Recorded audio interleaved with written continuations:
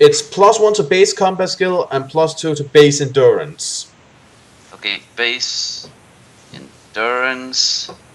Base endurance. Okay, okay. And I think I actually know what the fuck I'm doing, so that's a good thing. Right.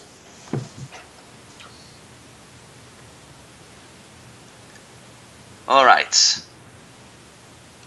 So, with that in mind, I will moving on be moving on to the items then. You can choose four items, and there's six arrows, two meals, rope, and a potion of Laumspur. And I believe you already have a rope, right? Yep.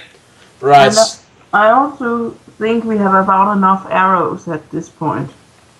Let me see. We have 63 arrows. Man, that more arrow. Yeah, that quiver is gonna be pretty packed at this point. Yeah, we're carrying more, well, arrows than I assume Robin of Locksley at this point. Even that guy would look at this and say, "Damn, do you really think you need that many?" 60 arrows. That, that, if I remember correctly, that's actually a pretty average. That's actually a pretty normal number for the average archer. You would know that better than I. But it's up Uh, to you. I mentioned the items that are not weapons, so yeah. But before we proceed to choose items, I should mention we have a few items in our backpack that I need to ask you guys if we still need.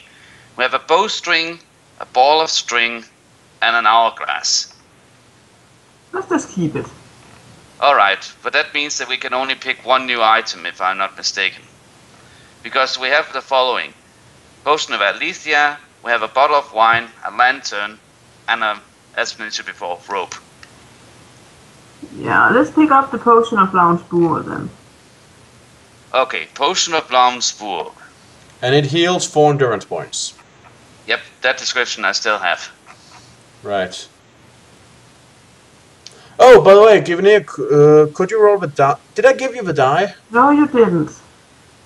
Why don't you just a- add it as a link to your favorites, so I don't have to send you the link every time? I can. Let's see if I can just look it up. It's called Die Simulator. I mean, I can find it if you want. Uh, if you want, uh, want me to. I mean, I have to turn off the camera anyway to get send you guys the map.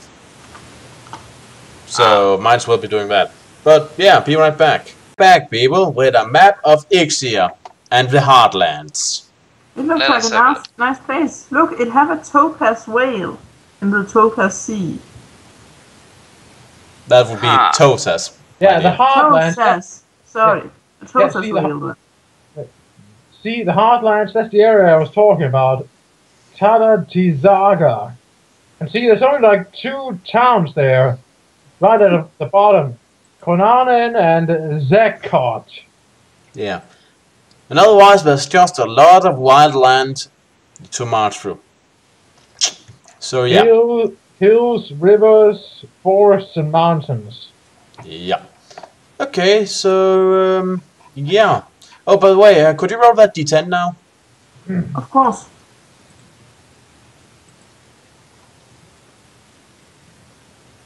Ten.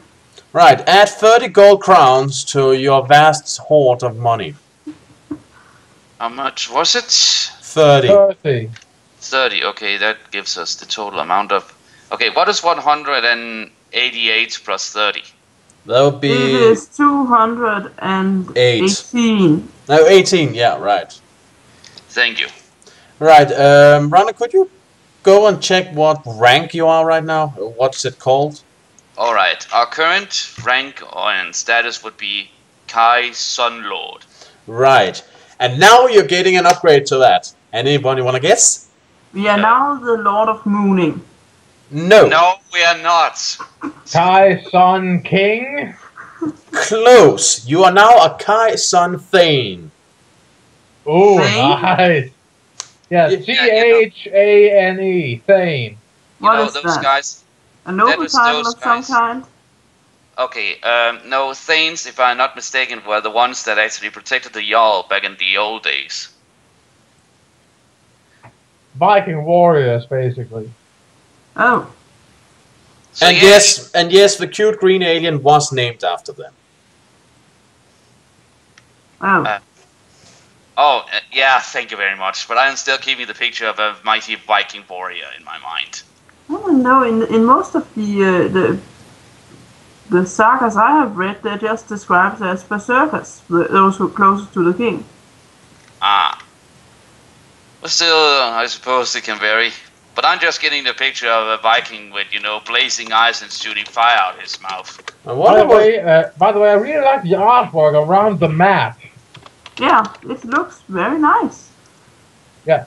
If Uh, a little cold. Huh. One of the possible Danish word for Thane is a sysselman. What? Oh. Cool. Weird. Anyways, um, uh, Cobra, have you uh, shown? You're gonna show the viewers the map, right? Oh yes, yes. I Yeah, 'cause- did. because they should really see this artwork. It's really cool. Yep. By the way, those undead look fucking terrifying. And I you. really like, and I really like the look of that ice castle. Yep. It really is the Lich King. Except this this guy was before the Lich King. I guess Yeah. that make, makes Arthas a pretender in more ways than one.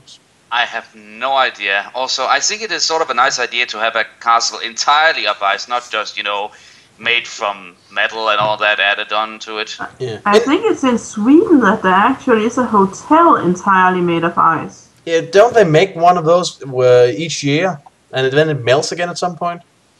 I, I think so. And It kind um, of says a lot about the guys up there. Oh, let's build a hotel of ice. Oh, it melted. What do we do? We build another one. I You know that if sounds like a like a story out of Mulbol, if you ask me. Hmm. Mols. Is that what it's called? Weird. Yeah. Huh. The people live there is called Moldor. Yeah. Weird. You know, there's one thing we Danes are not good at. It's calling people things for where they live. It always ends up being weird. You can never figure out what the pattern is. In any case, that's neither here nor there. Your skills have been upgraded. Assimilance has been upgraded. Let me see. Someone else has been upgraded. Uh, yeah. You can now summon Fork. Summon fork. Okay. No, not a fork, Fork. Fog. I- okay. I do not think we can use a fork for a lot. Well, you could always stab people, but no, this is a lot more useful. It could really fuck up Also, someone's you day. never know what you can use with... You never know when a weird spell might be useful. I mean, well, have you guys even read Dots and Droids? That uh, summon bigger fish spell, Jesus Christ! Yep. In any case, Assimilance has been upgraded again. You can now blur yourself to better avoid missile fire.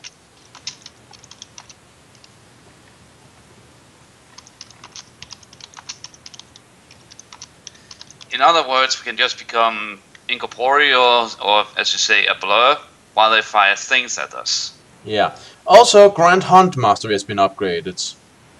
Yes.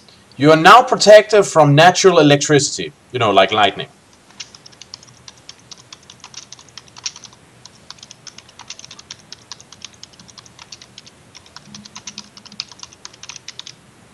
Okay, that's sort of an advantage. Yep. Also, Kai's Screen has been upgraded. You can now erect a Mind Forge.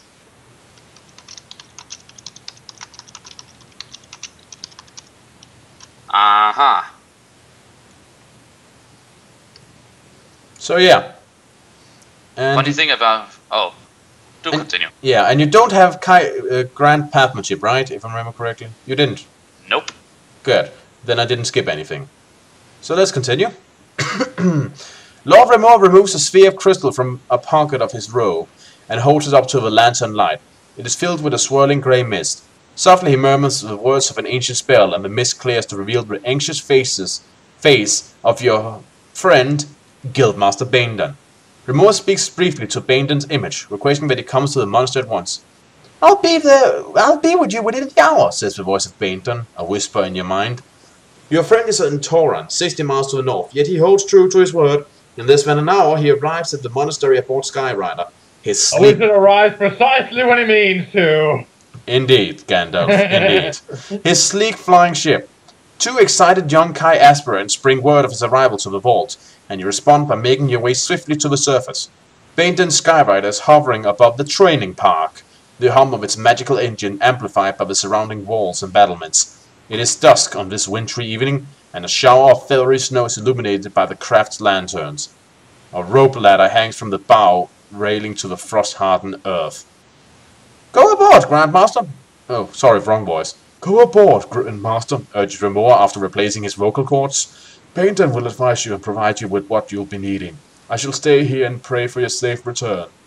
You bid a hasty farewell to your mentor before climbing the dangling rope ladder with the legendary speed and grace that sets you apart from lesser warriors. Banedon is waiting as you haul yourself aboard. He greets you with a glad smile. His face cannot hide his deep concern for what may await you in Ixia. You wave a final farewell to Lord Rimoah, then you retreat to the warmth of Banedon's cabin as the Skyrider glides over the monastery's southern wall and ascends into the leaden sky. Your friend Banedon has already set course for Vadera, the principal city of Lencia, a destination which is more than a full day's flight west of Sommerlund. While this not the first stage of a longer voyage to Ixia, you would gladly welcome the chance to visit Vadera, for your many friends there in the court of King Sarnak of Lencia. During the flight, Banedon details the plans which have been made on your behalf. King Sarnak himself has promised his help. He'll provide you with a boat and a pilot to sail you from Vadera to Asgard Island, a desolate I'm on a boat. Yay! I'm on a boat. A desolate Lencian outpost in the Tosa Sea. On your arrival there, you'll be transferred to a Lencian ice boat, a craft specifically built to withstand the power of the treacherous pack ice which clings to the Ixian shoreline at this time of the year. The ice boat will land you on the coast of Ixia, Lone Wolf, says Banedon, and then it will wait at anchor for you to return upon the completion of your mission. How long will the ice boat wait for me? You ask apprehensively. If you do not return within seven days, the pilot is ordered to set sail for Madeira without you. The tow says in winter is a cruel and terrible sea. No ordinary man could hope to survive there for much longer than a week, no matter how strong his ship or plentiful his supplies. Which reminds me, if you are to survive your visit to Death Lord Ixitoga's frigid realm, you'll be needing some special protection. Do you have a platinum amulet? Let me have a look. Think. Oh. Let me see. Platinum, platinum. Yep, we have plati- platinum amulet. Banedon reaches for a small wooden box which lies half buried on a shelf amongst a clutter of scrolls and charts. As he does so, he is momentarily distracted by the platinum amulet, which you wear on a cord around your neck. You notice then suddenly inquisitive look in his eyes. How did you come by that? he asks, as he stares fixedly at the amulet. It was given to me by Gwynian, the sage of Areta. I'm sure its power kept me safe from the perils of the Maaken Gorge. Tell me, my friend, have you heard of a sage? Oh yes, replies Banedon, thoughtfully. I know Gwynian. If the amulet you wear was given to you by him, then perhaps you do not need the special protection I had in mind after all. Banedon takes a small wooden box and hands it to you. Upon opening it, you discover it contains a platinum amulet, almost identical to the one you're already wearing. Huh. I see what you mean, you say as you close the lid and return the box to Banedon. Banedon tosses the box back onto the cluttered shelf, whoop, and continues with the briefing. I Have- swear, some people have bling. Lone Wolf has loot. all over the place. Like he's just this walking shelf showing off all kinds of artifacts, and he has a skirt made of keys. I mean, I, it's a wonder he can do any stealth at all because everywhere he goes, he'll sound like klinkle, klinkle, klinkle, klinkle. sound like some sort of Christmas ornament or a wind chime. Maybe he even has got, just come to the to the to the decision that he's some crazy guy walking around that doesn't really take him seriously usually. You know, it's pretty hard to argue against the crazy part, everything considered. Yeah. Having satisfied himself that you have adequate protection, he turns his attention to your weapons. It concerns me greatly that there's, that so little is known of Sogon, the Death Lord city. There's no way of knowing what unholy breed of creature awaits you there. It seems that you can be confident of only one thing, Lone Wolf. Whoever or whatever inhabits that dreadful place will surely be hostile to your presence. If you're to defeat the Death Lord of Ixia and his minions, you'll need a weapon of exceptional power, a weapon capable of destroying that which is already dead.